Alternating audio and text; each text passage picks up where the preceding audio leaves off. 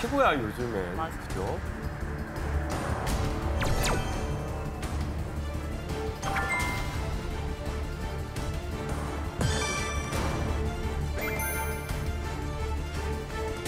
어, 지금 건강 얘기하다가 지금. 네. 어머, 뭐예요? 오, 무서워. 뭐예요? 흙이에요, 사람이에요? 저게? 네. 각종 쌀개와 한약재를 미생물로 발효시켜 자연열이 나는 원리라서 효소 찜질입니다. 어. 그런 게 있어. 저거 저도 해봤는데 은근히 열이 많이 올라요. 아, 그래요? 땀이 그냥 쏙 나요, 쏙. 아, 진짜요? 모래 찜질은 저 바닷가에서 그니까요. 네, 그런 건 줄 알았는데. 이마에 땀 맺힌 거 봐요. 어머, 어머, 어머.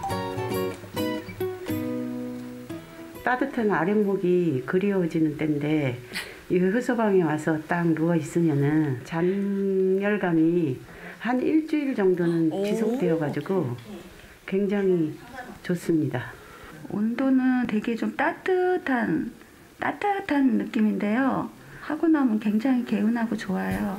아, 저도 사우나 안 해본 지가 정말. 맞아요. 네, 두달 같습니다. 그 발효되는 온도는 65도에서 70도 정도 됩니다.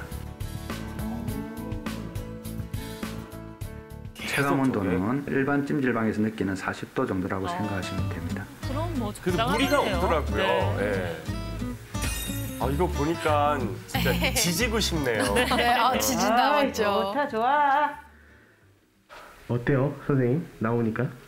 좋습니다. 아, 온 몸이 완전히 후끈후끈합니다. 어, 너무 좋다. 아우 시원해. 그래, 우리 뜨거운 물에 들어가서 시원하다고 하는 사람. 우리나라 사람들밖에 없잖아요. 땀이 이렇게 은은하게 나니까 굉장히 좋은 것 같아요. 몸에 물이 안 가고 면역력도 좋아지는 것 같고.